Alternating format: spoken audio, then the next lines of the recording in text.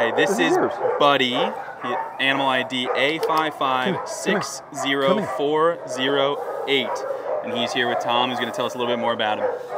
So Buddy was returned. They had a bunch of kids. We do not advise kids with Buddy. Uh, he's a little tight. He's nervous. He has had play group meetups, but he tends to try to pick fights, and I don't know how to say that any other way to do that than that. He doesn't like get aggro or defensive. He just gets in dogs' grills. So if anyone's going to try to mix him with another dog, it really should be with a professional help because you need to see all the key signs.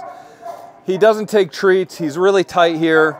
It took me a while to be able to touch his tail area here without him tucking underneath and getting nervous. You can see he's kind of giving me a cue there of, okay, that's enough. So I think he's a more advanced, savvy type handler dog, honestly.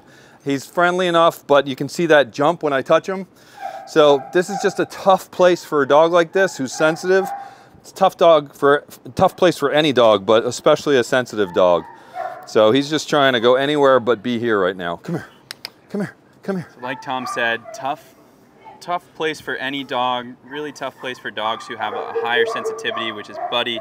Just needs someone who's going to be willing to spend that time with him. Maybe an advanced trainer or go to some advanced training courses and willing to be a little patient with him. Uh, that's what he needs. And you can hear it. It gets a little loud here, so it's really hard with this kind of dog who is naturally a little more skittish. But everybody needs a good home. Buddy is no exception to that rule. Again, if you want to see him, he's a beautiful, smaller Siberian Husky, just over a year old, animal ID A5560408. Just needs someone who's going to give him a little extra love.